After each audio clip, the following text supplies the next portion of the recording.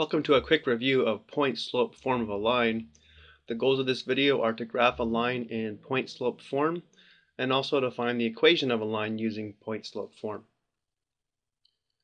Now we are all familiar with slope intercept form of a line where y is equal to mx plus b, m is equal to the slope of the line, and b is the y-intercept of the line.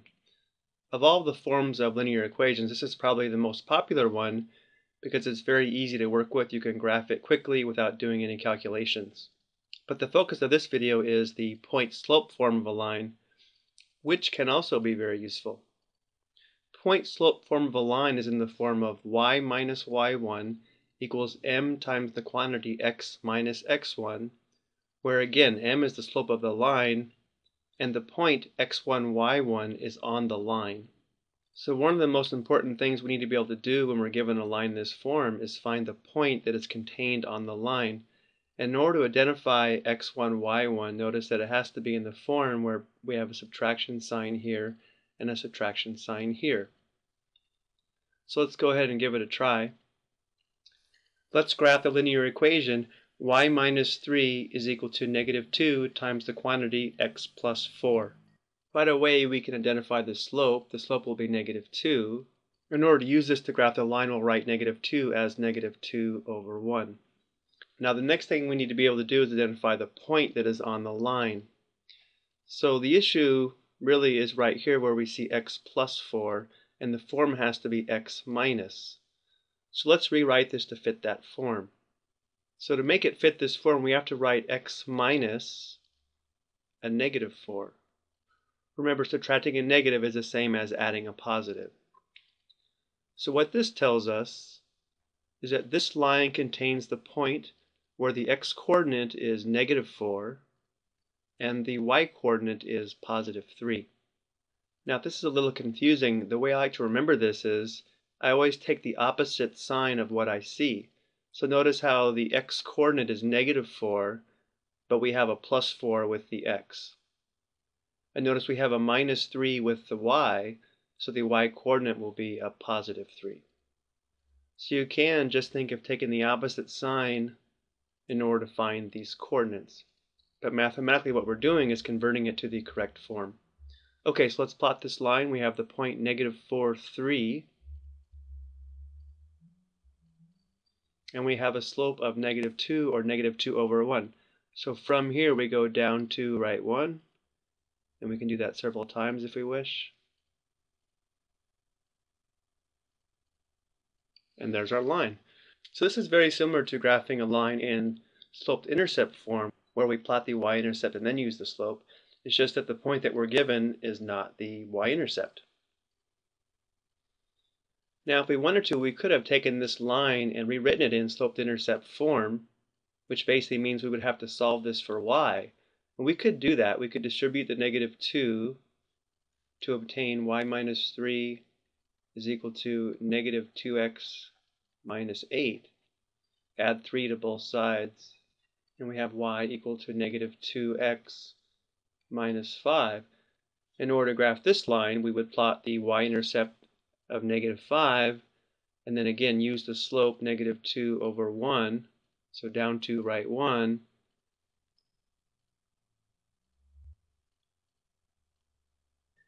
And when we graph this line, it is the same line. We can see our x-intercept of negative 5, and the point that we graphed first on the other line was the point negative 4, 3, which is on this line. If we go back to the previous screen, we can also see this is the same line with a y-intercept of negative 5. But what's nice about graphing it using the point and the slope is that we do not have to do any algebraic manipulations to the equation. Let's go ahead and graph one more line. So the first thing we need to identify is the slope. The slope is equal to 1 half. And the next thing we need to do is identify the point on the line that is given by the equation in this form. So the x-coordinate of the point, if I see minus 1, that means the x-coordinate will be positive 1. And if I see a plus 3 next to the y, that means the y-coordinate will be negative 3. So we plot the point 1, negative 3. And then from here we go up 1, right 2. We can do that several times. So this would be our line. The second useful purpose of point-slope form of a line is to find the equation of a line. So for example, if we had the question, find the equation of the line with slope 1 half and passing through the point 6, negative 3, we could find the equation of this line using point-slope form or slope-intercept form. So let's try both.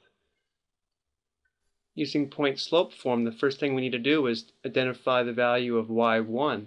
So now it's just the opposite y1 is actually negative 3, so minus negative 3 would be plus 3 equals the slope, which is 1 half, times x minus x1. x1 is 6, so we have minus 6. Again, we can see the relationship. If this is 6, this is minus 6. If this is negative 3, it's plus 3. Now, usually when you give the equation of a line, you do write it in slope-intercept form. So let's go ahead and solve this for y y plus 3 equals 1 half x minus 3. Subtract 3 on both sides. y equals 1 half x minus 6. Now let's compare this to find the equation of this line using just sloped-intercept form. So what we do is first replace m with 1 half, and then we're left to find the value of b.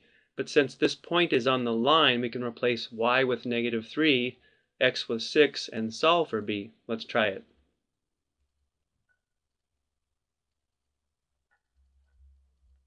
So we'll have negative 3 equals 3 plus b, subtracting 3 on both sides. We have b equals negative 6. So putting all the pieces together, we know that y is equal to 1 half x minus 6. And of course we get the same answer.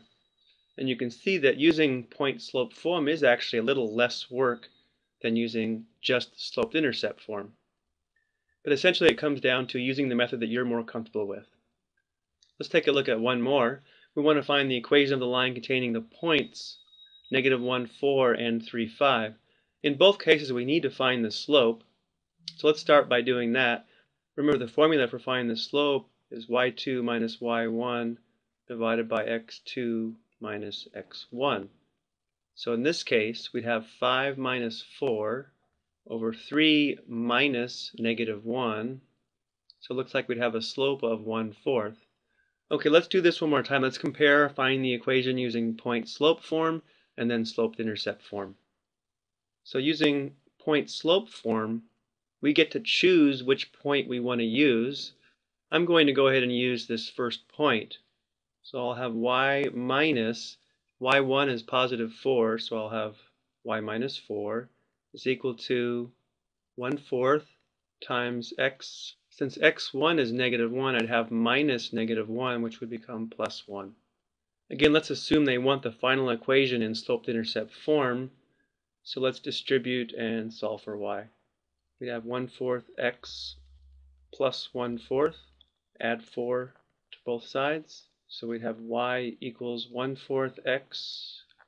Now 4 plus 1 fourth 4 is the same as 16 fourths, so 16 fourths plus 1 fourth would be 17 fourths. Now let's go ahead and see if we can get the same equation using just sloped intercept form. So again, we start by replacing m with 1 fourth. Again, we have a choice of points to use to find the y-intercept.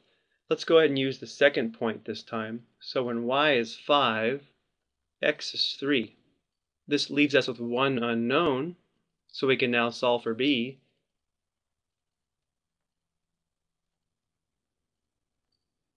Subtracting 3 fourths on both sides.